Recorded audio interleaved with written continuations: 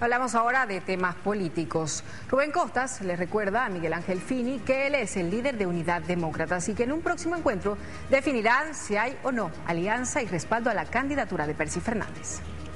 No vamos a cometer esta atrocidad de decir que somos oposición y apoyar a alguien que no es oposición. Miguel Ángel Fini, en representación de Unidad Nacional, lanzó estas declaraciones anticipando que no existe la posibilidad de apoyar la candidatura de Percy Fernández a la alcaldía cruceña. Bajo ninguna premisa vamos a transar con aquellos que han concubinado con el MAS, que han tenido acuerdos subterráneos con el MAS, pero que se miran, se ven, se olfatean, se lee por debajo del agua. A esta posición de unidad nacional, el gobernador Rubén Costas responde lo siguiente.